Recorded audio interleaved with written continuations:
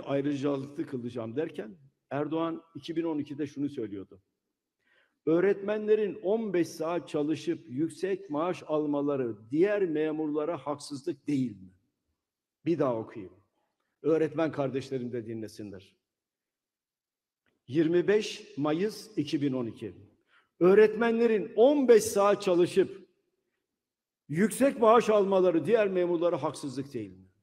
Buradan sesleniyorum. Hiçbir memur, hiçbir çiftçi, hiçbir sanayici, bu ülkede yaşayan hiçbir kişi öğretmenlerin fazla maaş almasından asla ve asla rahatsızlık duymaz. Asla duymaz.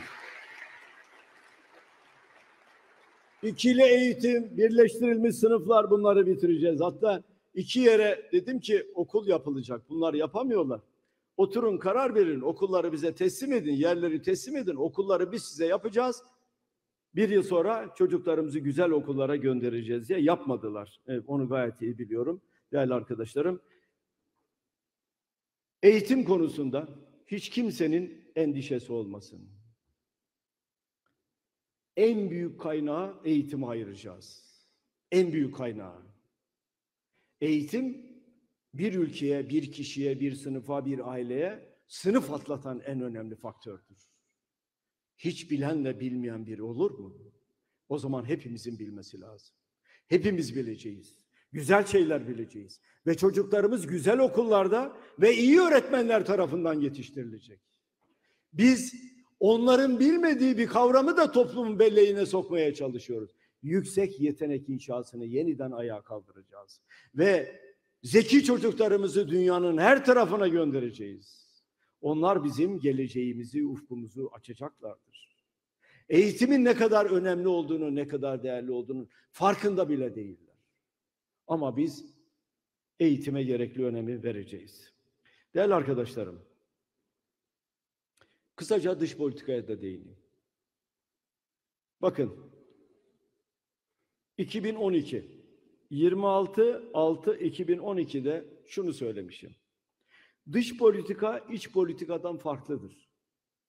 Boğazınızdaki dokuz boğumu unutmayacaksınız. Lafı söylerken düşüneceksiniz. Çünkü dış politika ülkenin tarihinde iz bırakan politikadır demiştim. 2012'de. Ve Cezayir örneğini vermiştim. Cezayir bağımsızlık savaşını kazandığında, bağımsızlığını ilan ettiğinde Türkiye Birleşmiş Milletler'de çekimser kalmıştı. Bağımsız devlet olarak tanımamıştı yani. Bize kırgınlardı. Derin izler bıraktı. Ta ki rahmetli Özal Cezayir'e gidip Cezayirlerden özür diledikten sonra ilişkilerimiz düzeldi. O nedenle dış politika ülkelerin tarihinde derin izler bırakır.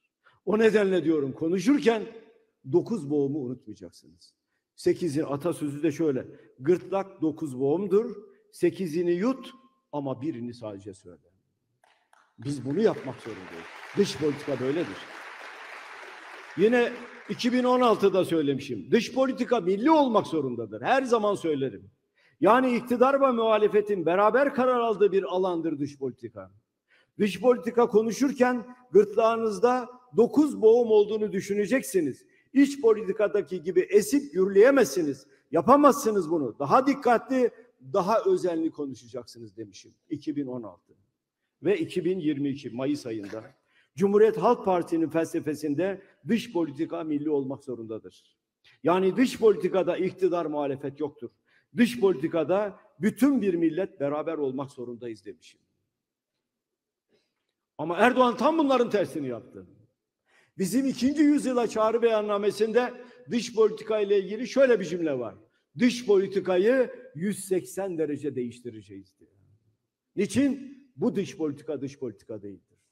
Kişi endeksli dış politika olmaz. Dış politika ülkenin çıkarları üzerine inşa edilir. Eğer dış politikada yanlış yaparsanız, dengesiz konuşursanız, hamaset yaparsanız size bir gün bunun gereğini yaparlar ve siz onların önünde diz çökmek zorunda kalırsınız. Erdoğan Mısır Devlet Başkanı için şunu söylüyordu. Uluslararası platformlarda Türkiye'yi saymıyor. Türkiye'de zaten çok söylüyordum. Malum şeyi de e, neydi bu Mısır'daki ihvanı da e, dört parmağını da şey AK Parti'nin logosu haline getirmişti. Meydanlarda, şurada, burada her yerde söylerdi, yapardı bunu. Bunu yap, yapmayın diyorduk. Ya yapmayın bunları. Türkiye'ye zarar veriyorsunuz diyorduk. Rabia işareti, evet.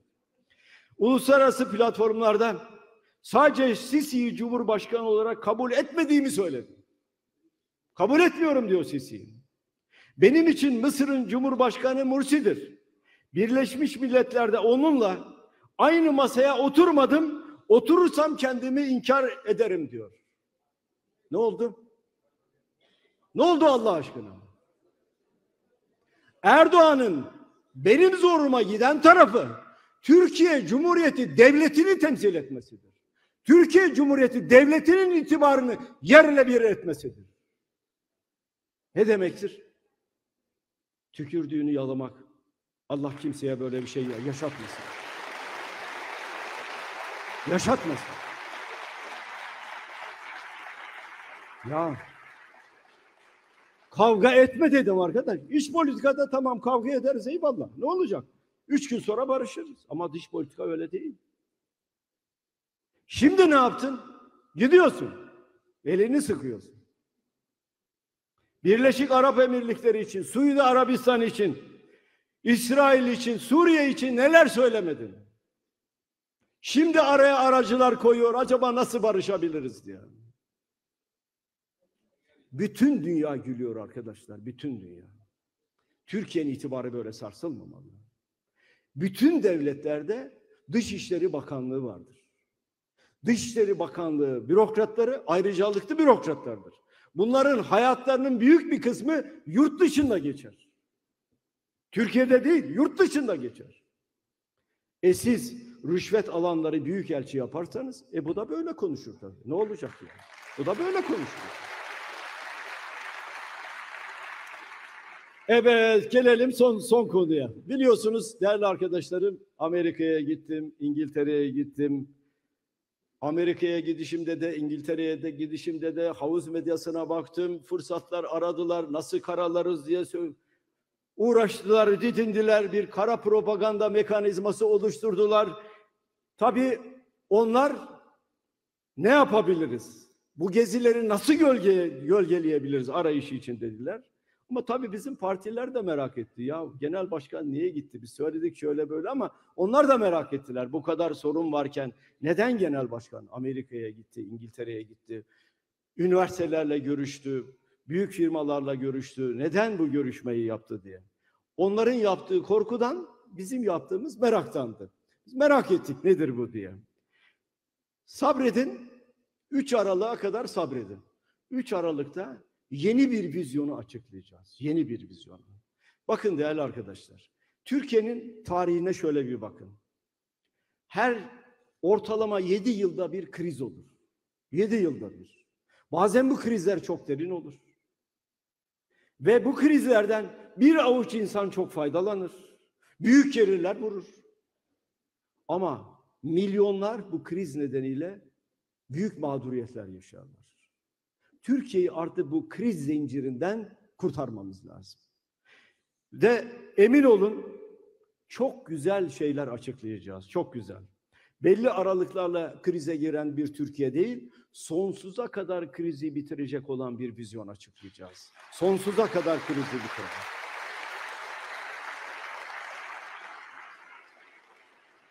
Ekonomi bakanlarını değiştirdiler, maliye bakanlarını değiştirdiler, bürokratları değiştirdiler, hükümetler geldi gitti. Ama krizler bizim hayatımıza hep oldu.